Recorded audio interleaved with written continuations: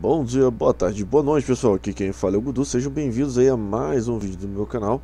E antes de começar o vídeo galera, já peço que vocês se inscrevam lá no meu Facebook, né, que vocês deem um seguir na página lá, também deem um curtir na página. É, Me sigam no Instagram, no Twitter também, beleza? Os links estão na descrição desse e dos demais vídeos do canal. Se você está vendo esse vídeo aqui por algum outro fórum, algum outro site, cara Vai lá no YouTube e pesquisa por Gudu Oficial, beleza? Aí você vai achar meu canal lá, eu vou estar lá de óculos na foto, né? Dentro de um carro, beleza? Bom galera, esse daqui é, é literalmente um guia sobre o OBS, galera. Para quem não conhece, é o Open Broadcaster Software que veio ganhando aí é, território nos últimos cinco anos com um programa para você criar vídeos do seu PC, fazer lives de stream e tudo mais. Porém, é, eu achava algumas maneiras para testar, para fazer configurações de live stream localmente, só que sempre ficava uma porcaria.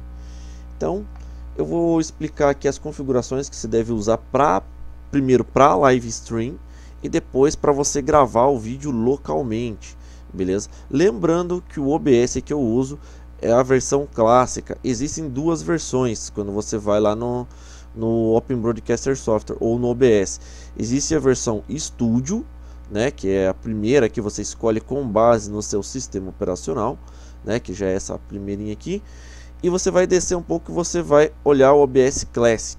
Cara, eu já testei o Studio e tudo mais, porém eu ainda prefiro usar o OBS Classic, ok? Eu prefiro usar esse OBS clássico normalzinho aqui, cara. É, o estúdio eu achei meio rebuscado, assim, não que eu tive dificuldades, mas algumas opções acabaram sendo alteradas e acho que fica mais por uma questão de quem é mais, digamos, é, profissional, tá? Porém, a configuração vai ser a, a princípio a mesma, tá? O que, que, vai acontecer? Vocês vão abrir no OBS, o meu está em português, tá? Mas pode ser settings ou definições e vão verificar aqui ah, lembrando só, né? Essa primeira etapa aqui é óbvio, eu vou falar sobre live stream, tá? Depois aí eu vou falar sobre é, vídeo localmente. É porque o local, galera, a única coisa que vai mudar é você colocar aqui é, 5000 e aqui você vai colocar zero. Para você fazer local na sua máquina extremamente com qualidade. Se for live stream, vai depender muito da sua internet, ok? O que, que eu posso falar para vocês é o seguinte: Prestem atenção, isso é muito importante agora. Se você tem uma internet de 1 mega a 5 megas, a DSL, não fibra ótica, a DSL, tá? A DSL 2. Você tem que é, simplesmente gravar localmente e upar, porque não, não tem condição de você fazer uma boa live stream com esse tipo de configuração. A imagem começa a ficar tremendo, distorcida, distorcida. Cara, fica muito ruim porque simplesmente o buffer, que é a memória, ela fica atu atualizando a cada 5 segundos e cara, fica muito ruim, cara. Para quem está assistindo a live stream de quem tem até 5 megas de ADSL, fica horrível. Se você tem aí fibra ótica de 5 megas, você pode fazer o teste e verificar, colocando uma taxa de bits, né, ali mais ou menos de mil, tanto aqui quanto aqui. Se você colocar uma taxa de bits máxima em mil e o tamanho do buffer em zero e fizer uma live stream, tua live stream vai ficar toda borrada, ela fica desconfigurada. Se você tem é, a DSL de 10 a 25 megas, tá? De 10, 15, 20, 25, o ideal para 10 e 15 é colocar 900 bits na máxima 900 no tamanho de buffer, ok? E tem um, uma questão também, você pode estar tá usando, utilizando é, o encoder ou codificador tanto no X264 que vai ser seu processador isso é para quem tem processador bom, se você estiver jogando um game e quiser fazer live stream, vai pesar, então é bom ter aí um i7, porque cara, vai perder FPS sim. Algumas placas é, aceitam Quick Sync, alguns computadores aceitam Quick Sync e outros o Nvidia Codec. Só que, de novo, se você usar o NVIDIA Codec, você vai perder FPS. Qualquer um dos codecs, seja NVIDIA ou X264, que é no seu processador, você vai perder FPS sim. Você vai sentir um pouco de latência ou de freeze ou de lag no seu jogo quando você estiver fazendo a live stream em 10 e 15 megas, ok? Usando aqui 900, você vai sentir, cara, vai pesar, tá? Isso na definição de codificação, você vai sentir isso, beleza? Lembrando também que você tem que ir lá em avançadas, se você está utilizando aí NVIDIA ou X264, eu usei por muitos anos, cara, o codificador direto no processador. E eu usava isso daqui, para o vídeo ficar um pouco melhor usar CR, CFR, colocar aqui CRF igual, cara, você pode colocar aí 16 até 20, ou eu coloquei 15 aqui porque meu processador aguentava, ele deixa a imagem muito mais limpa. Isso daqui é para ele forçar é, um FPS durante a gravação do jogo. Só que aquilo, quanto mais é, para cima de 18, pior vai ficar a qualidade certo? Isso daqui são anos de pesquisa, cara. São anos de teste que eu acabei fazendo. Para dizer a quantidade de anos, cara, são 5 anos e é bem complicado você fazer um vídeo de boa qualidade dentro é, do OBS, ok? Não é que seja ruim, não. Muito pelo contrário, cara. O OBS é a melhor ferramenta que eu arrumei para fazer e eu não consigo mais largar dele. Cara, ele é melhor do que aquelas outras que tinham é, X-Split e o Caramba 4, porque ele é muito mais simples, cara, muito mais dinâmico, muito mais didático e muito intuitivo, tá? Então o que acontece? Se você for usar por processador ou por NVIDIA, você vai ter que setar aqui, usar CFR, e aqui embaixo é diferente, é CRF igual a 16, a 16 18, tá bom? É, aqui no áudio você pode forçar, tá? Porque você tem que configurar o teu microfone, né, para ele sintonizar ali para não ficar atrasado, ok? Comigo, cara, ficava várias e várias vezes atrasado. Outra situação é que assim, tem no meu aqui o Quick Sync, que é o que eu estou usando para fazer esse vídeo exatamente agora em minhas lives stream. O Quick Sync, cara, se tiver e se funcionar na sua máquina, é o mais leve de todos. Ele, ele usa um, um plugin, tá? Da, da sua placa, ele não vai usar placa de vídeo, ele não vai usar processador, ele vai usar muito menos, ele é muito mais leve e ele é muito mais prático. Então, cara, eu achei muito foda quando eu descobri que dava para usar o Quick Sync. Mas o Quick Sync você tem que vir nas opções de Quick Sync e clicar aqui em CBR, ok? E de novo, se você tem lá é, uma internet de 10, 15 megas, você vai colocar aqui 900 e aqui também 900. Se for gravar localmente, cara, é só colocar zero aqui no buffer, beleza? Por que, que agora eu estou colocando aqui 9000 e 9000? Não precisa disso, mas eu tenho 50 megas de fibra ótica da Copel. Se você tem aí fibra ótica de 20 megas, de 30 megas ou fibra ótica de 10 megas, não precisa colocar 9000. Faz alguns testes, cara. Faz ali com 3.000, a Twitch principalmente, ele só aceita 3.500, só 3.500, aqui também 3.500. Eu, eu fiz vários testes e para mim ficou é, perfeito é, em 9.000 mesmo, tá? A questão também de saída é interessante você estar personalizando.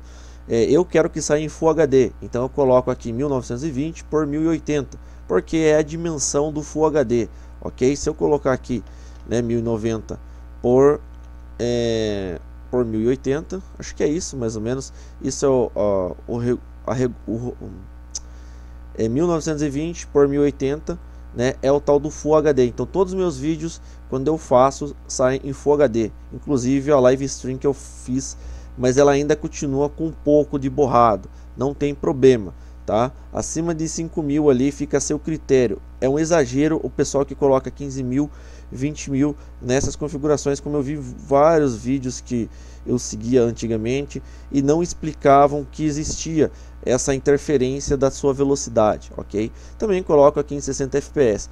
No entanto que se vocês procurarem é, no meu canal, vocês vão ver uh, uma live stream criando os personagens, tá?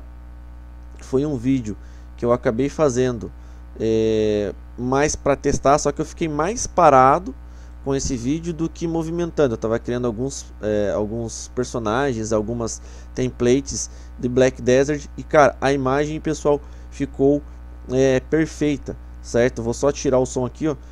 E ele, o YouTube entendeu que ficou em 1080p por 60 de FPS, cara.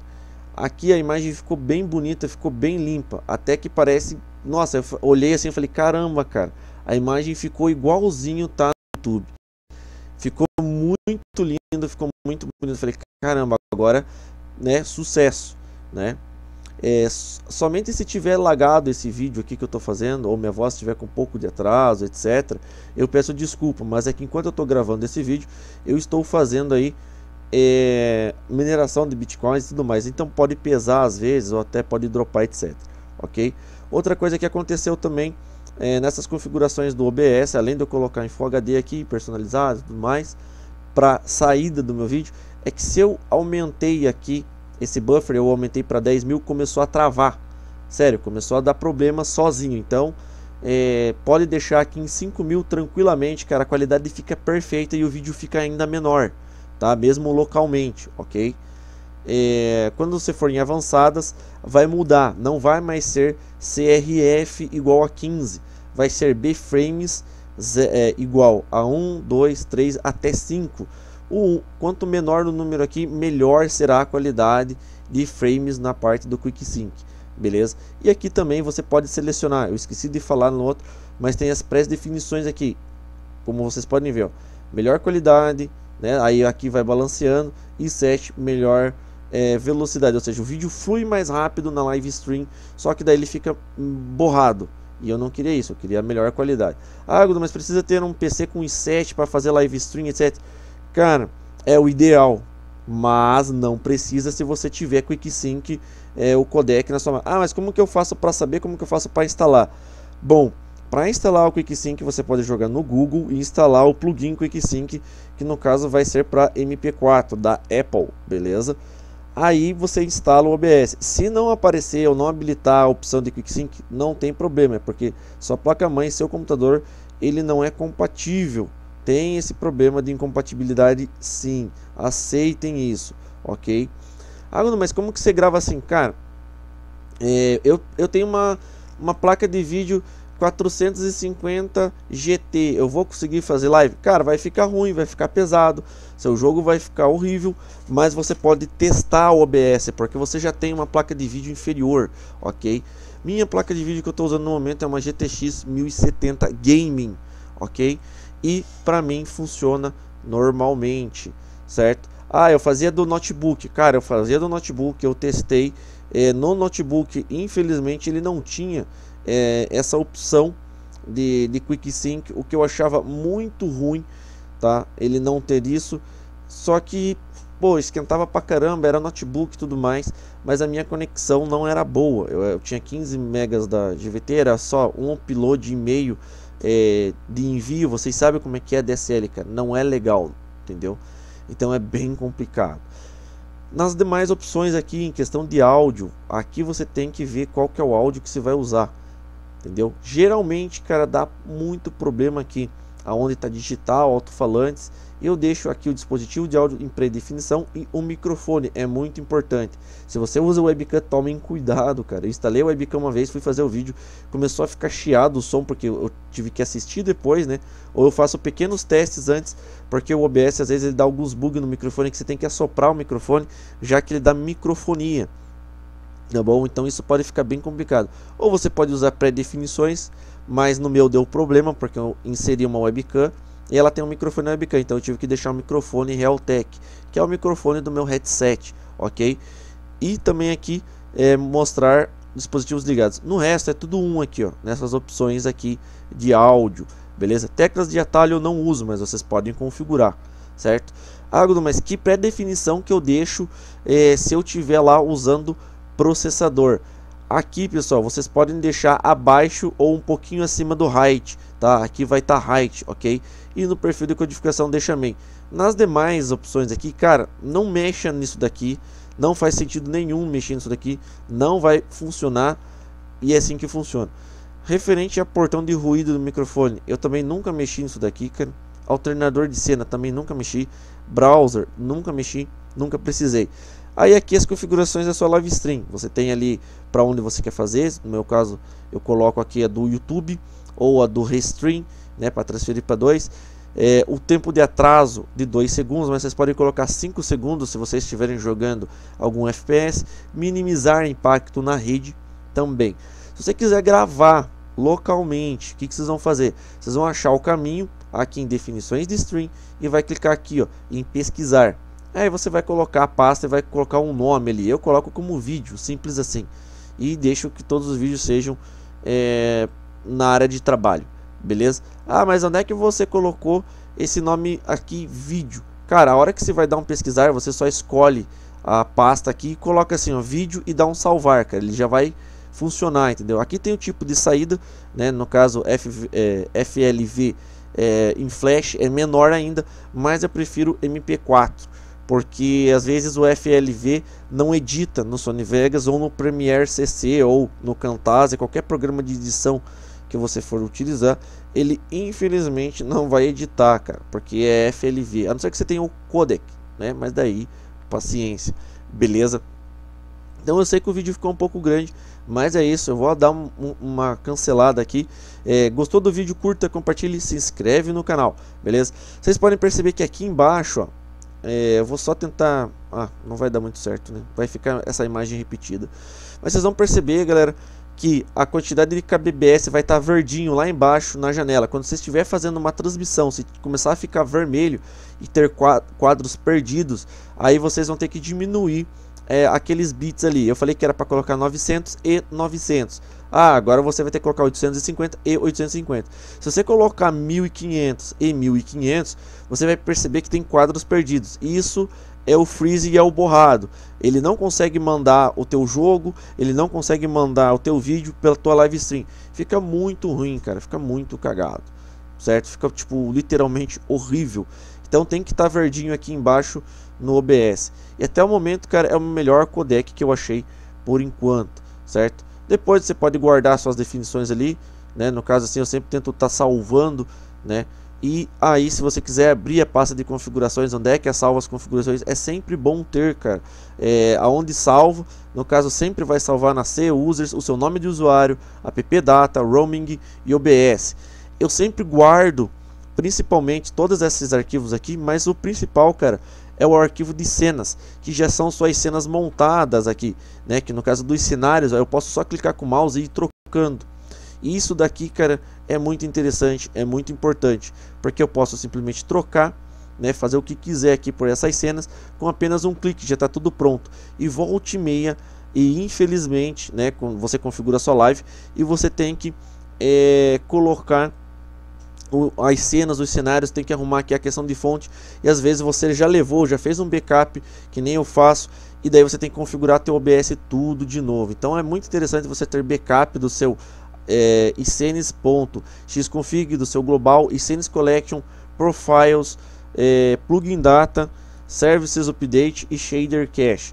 É bem interessante você ter aí é, isso e salvar esse caminho aqui, cara. Eu tenho em algum bloco de notas é, esse caminho e todas essas pastas salvas no meu backup, no meu HD de backup ou no, em um pendrive, ok? Tá até aqui, ó, OBS backup de telas, ó. De tempos em tempos, eu simplesmente venho na pasta do, do OBS aqui e copio, cara. Copio isso daqui. Vou até vou fazer agora aqui em vídeo. Já estou finalizando. Se gostou, curta, compartilhe, se inscreve no canal.